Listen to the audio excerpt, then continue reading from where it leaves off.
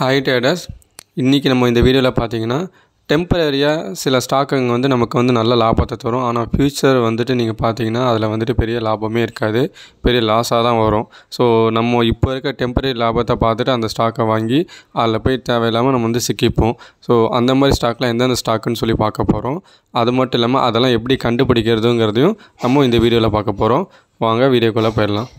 First stock என்னன்னு சொல்லி பார்த்தீங்கன்னா நம்ம வோடாஃபோன் எடுத்துப்போம். ஃபஸ்ட்டு பாயிண்ட் வந்து நம்ம எதை செக் பண்ணணும் அப்படின்னா அந்த பர்டிகுலர் ஸ்டாக் எந்த ஸ்டாக் வந்துட்டு நீங்கள் எடுக்கிறீங்களோ அந்த ஸ்டாக்கோட ஒரு மூணு கிராஃப் எடுத்துக்கோங்க. அதோட ஆறு மாதம் ரிட்டர்ன் எப்படி இருக்குது ஒன் இயர் ரிட்டர்ன் எப்படி இருக்குது ஃபைவ் இயர்ஸ் ரிட்டர்ன் வந்து எப்படி இருக்குது அப்படிங்கிறத வந்து நம்ம செக் பண்ணுவோம். இல்லை வந்து ஒரு சிம்பிளான வழி எனக்கு தெரிஞ்ச டெக்னிக்லாம் உங்களுக்கு சொல்லித்தரேன் இப்போது லாஸ்ட்டு ஆறு மாதத்துக்கான ரிட்டர்ன் பார்த்திங்கன்னா மைனஸ் இருபத்தி ஆறு பர்சன்டேஜ் அதே லாஸ்ட்டு ஒன் இயருக்கு பார்த்தீங்கன்னா மைனஸ் முப்பத்தஞ்சு பர்சன்டேஜ் அதே லாஸ்ட்டு ஃபைவ் இயர்ஸுக்கு பார்த்தீங்கன்னா எண்பத்தி நாலு பர்சன்டேஜ் ஸோ லாஸ்ட் அஞ்சு வருஷமாக இந்த ஸ்டாக்லேருந்து பெருசாக ரிட்டனே வரல. அதேமாதிரி ஷார்ட் டேர்ம் ஆறு மாதத்துலேயுமே பார்த்தீங்கன்னா பெருசாக ரிட்டர்ன் எடுக்கவே இல்லை. ஸோ இந்த மாதிரி இந்த சிம்பிள் இருந்தாலே நம்ம ஃபஸ்ட்டு எடுத்தோடனே அவாய்ட் பண்ணிடலாம். அடுத்தது ரெண்டாவது பாயிண்ட் வந்து போயிடலாம். ரெண்டாவது பாயிண்ட் எது செக் பண்ணணும் அப்படின்னு சொல்லி பார்த்தீங்க அப்படின்னா நெட் ப்ராஃபிட் வந்து நம்ம செக் பண்ணணும். அதாவது நம்ம ஒரு பிஸ்னஸ் பண்ணுறோம் அப்படின்னா வருஷம் வருஷம் நமக்கு ஒரு லாபம் வரணும். அந்த லாபம் வளர்ந்துக்கிட்டே போலினாலுமே நம்ம கையை கடிக்காமல் ஒரே மாதிரியான லாபம் வந்து வரணும். ஆனால் இங்கே நம்ம வோடாஃபோன் காதில் எடுத்து பார்த்திங்கன்னா கடைசி அஞ்சு வருஷமாக பார்த்திங்கன்னா நெகட்டிவ் ரிட்டர்ன்ஸ் மட்டும்தான் காட்டியிருக்காங்க. அதாவது லாபமே வரல. நஷ்டம் தான் வந்திருக்கு. அந்த நஷ்டமே வந்து பார்த்திங்கன்னா வருஷம் வருஷம் இன்க்ரீஸ் ஆகிட்டே போயிட்டுருக்கு. ஸோ இந்த மாதிரி இருந்தாலே நம்ம இந்த மாதிரி ஸ்டாக்லாம் இன்வெஸ்ட்மெண்ட் பண்ணவே கூடாது. அடுத்தது மூணாவது வந்து அவங்களோட பேலன்ஸ் ஷீட்டில் இருக்க பாரோயிங்ஸ் பார்க்கணும் எவ்வளோ கடன் வச்சுருக்காங்க அப்படின்னு சொல்லிட்டு.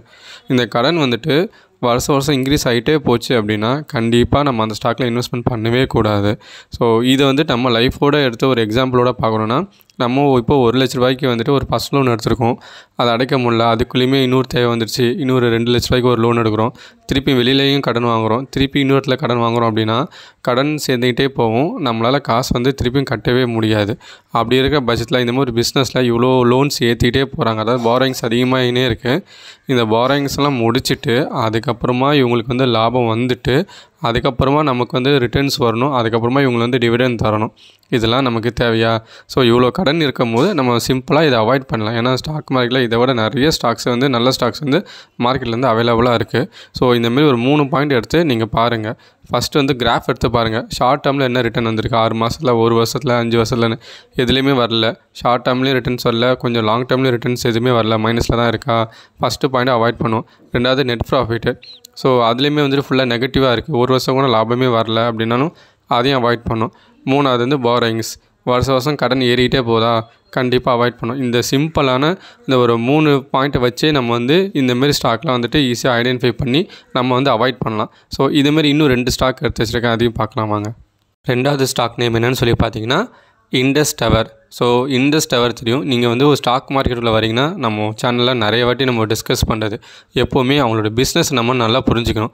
இப்போது ஓடஃபோன் அடி வாங்கினா ஓடஃபோன் ரிலேட்டடாக இருக்க எந்தெந்த கம்பெனிலாம் அடி வாங்கும் அப்படிங்கிற மாதிரி நம்ம எடுத்து அனலைஸ் பண்ணோன்னா ஈஸியாக நமக்கு வந்துட்டு ஸ்டாக்ஸ்லாம் வந்து கிடைக்கும். அதாவது எதெல்லாம் இன்வெஸ்ட்மெண்ட் பண்ணலாம் எது இன்வெஸ்ட்மெண்ட் பண்ணக்கூடாதுன்னு சொல்லிட்டு. இப்போ இண்டஸ் டவரோட மேஜர் கான்ட்ரிபியூட்டர் அதாவது கஸ்டமர்ஸ் யாரும் பார்த்தீங்கன்னா ஓடாஃபோனும் ஏர்டெலும் தான்.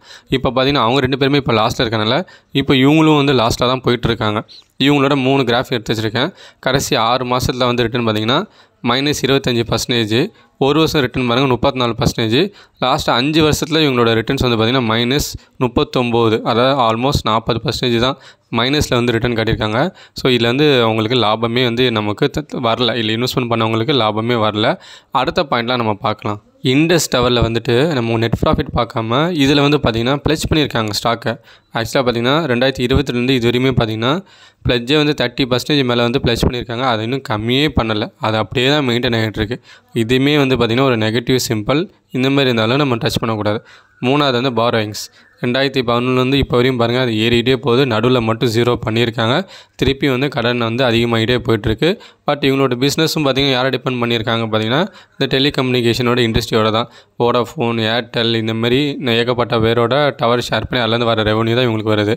இவங்களோட மேஜர் கஸ்டமர்ஸ் பார்த்திங்கன்னா வோடாஃபோனும் ஏர்டெல் தான் வந்துட்டு இவங்க. அடுத்து தான் ஜியோ அதுமாரி ஒவ்வொருத்தராக வராங்க. ஸோ அவங்களுக்கே வந்துட்டு இப்போ லாஸ்னால் இவங்களுக்கும் ஆல்மோஸ்ட் வந்து இப்போ லாஸ்ட்லாம் வந்துட்டுருக்கு. ஸோ இதுவுமே வந்துட்டு நம்ம இந்த ஸ்டாக்குமே வந்து அவாய்ட் பண்ணணும். ஃபைனல் ஸ்டாக் என்னென்னு சொல்லி பார்த்தீங்கன்னா ஜொமேட்டோ ஸோ ஜொமேட்டோவில் மூணு கிராஃப் எடுத்து வச்சுருக்கேன். அதே ஆறு மாதம் ரிட்டர்ன் பார்த்தீங்கன்னா மைனஸ் பதிமூணு percentage last one year return பார்த்தீங்கன்னா இருபத்தெட்டு பர்சன்டேஜ் ஸோ லாஸ்ட்டு ஃபைவ் இயர்ஸ்னு நம்ம கிராஃப் எடுத்து வச்சுருக்கேன். பட் ரெண்டாயிரத்தி பதினொன்றில் தான் சார் ரெண்டாயிரத்தி இருபத்தி ஒன்றில் தான் வந்து இவங்க லிஸ்ட் ஆனாங்க. ஸோ ஆல்மோஸ்ட் வந்துட்டு ஒரு two years two years return பார்த்தீங்கன்னா ஒன்றும் இல்லை. ஐம்பத்தஞ்சு பர்சன்டேஜ் வந்து நெகட்டிவில் தான் வந்து வந்திருக்காங்க. ஸோ ஷார்ட் டேர்மை பொறுத்த வரையுமே இவங்க லாபம் தரல. கொஞ்சம் லாங் டேர்ம் பொறுத்த வரையுமே வந்துட்டு இந்த ஸ்டாக்லேருந்து இன்வெஸ்ட் பண்ணவங்களுக்கு வந்து லாபம் வரல. ஸோ ஃபஸ்ட்டு பாயிண்ட் இங்கேயே வந்து அடிபட்டுருச்சு ஜொமேட்டோவில் ஜொமேட்டோவோட நெட் ப்ராஃபிட் வந்து பார்த்துடலாம். லாஸ்ட்டு ரெண்டாயிரத்தி பதினெட்டுலேருந்து பாருங்கள் இப்போ வரையுமே வந்து பார்த்திங்கன்னா நெகட்டிவ் ரிட்டர்ன்ஸ் மட்டும்தான். லாபமே இன்னும் அவங்க வந்து எடுக்கல. ஃபுல்லாக நெகட்டிவில் தான் நெட் ப்ராஃபிட்லேருந்து போயிட்டுருக்காங்க.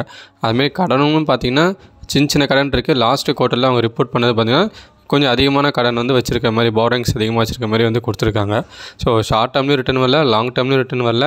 நெட் ப்ராஃபிட்டும் வந்துட்டு பார்த்திங்கன்னா இன்னும் லாபமே அவங்க வந்து எடுக்கலை. ஸோ இந்த மாதிரி ஸ்டாக்லாம் வந்துட்டு நம்ம வந்து ஈஸியாக அவாய்ட் பண்ணிவிட்டு நல்ல நல்ல ஸ்டாக்லலாம் வந்து நம்ம இன்வெஸ்ட்மெண்ட் வந்து பண்ணலாம்.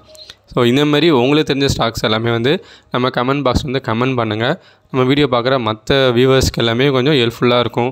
அந்த மாதிரி ஸ்டாக்லாம் அவாய்ட் பண்ணுறதுக்கு ஷேர் பண்ண எல்லா டேட்டாவுமே பார்த்தீங்கன்னா ஒரு எஜுகேஷன் பர்பஸ்க்காக தான் உங்களோட நான் ஷேர் பண்ணிக்கிட்டேன். இந்த ஸ்டாக்கை ட்ரேட் பண்ணுறதுக்கு முன்னாடி உங்களோட ஓன் ரிசர்ச் அண்ட் அனாலிசிஸை வந்துட்டு ஒரு வாட்டி பண்ணிக்கோங்க. நம்ம சேனலுக்கு புதுசாக வந்திருந்தீங்கன்னா சப்ஸ்கிரைப் பண்ணுங்கள் நம்மளோட ரெகுலர் வியூவராஸாக இருந்ததுன்னா நோட்டிஃபிகேஷன் பெல் ஐக்கனை கிளிக் பண்ணுங்கள் ஏன்னா அப்போ தான் நம்ம போகிற எல்லா வீடியோவுமே வந்து உங்களுக்கு நோட்டிஃபிகேஷன் வந்து எனபிள் ஆகும்.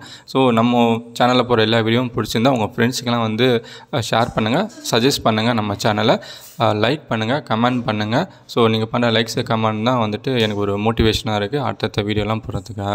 ஸோ தேங்க்ஸ் ஃபார் வாட்சிங்